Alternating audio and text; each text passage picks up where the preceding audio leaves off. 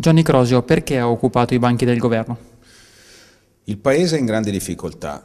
Gli italiani aspettano risposte, il lavoro, gli esodati, la scuola, le aziende e la risposta di questo governo è quella di abolire il reato di clandestinità. Una cosa assurda, dettata solo dalla demagogia della sinistra, seguita da Grillo, che, guarda caso, questa mattina ha pensato bene di fare retromarcia però non si cancella un'idea solamente con un blog, solo, solamente con postare qualcosa. Noi abbiamo fatto questa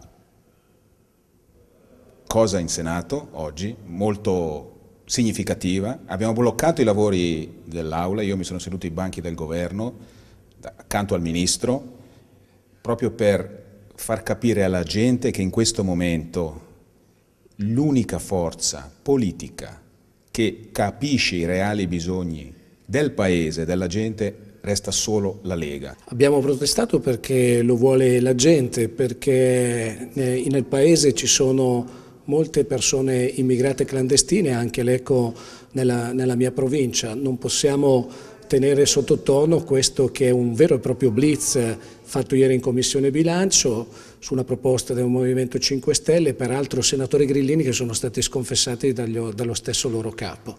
Quindi noi siamo sempre dalla parte dei cittadini e non vogliamo che dopo l'indulto che svuota le, le carceri e libera tutti i detenuti carcerati, con l'abolizione del reato di immigrazione clandestina si aprano indiscriminatamente le frontiere.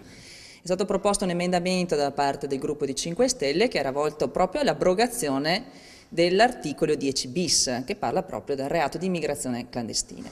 Ma non solo, ma anche della possibilità di depenalizzare tutti i reati attinenti all'immigrazione.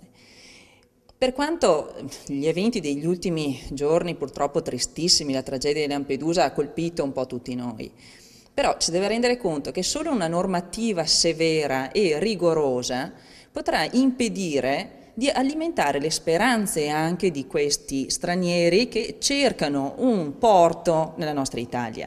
Con una normativa rigorosa invece e comprendendo che non si potranno utilizzare certi espedienti per arrivare in Italia, probabilmente, molto probabilmente, termineranno anche queste manovre veramente criminose da parte di questi scafisti e di coloro che stanno sfruttando proprio questa povera gente.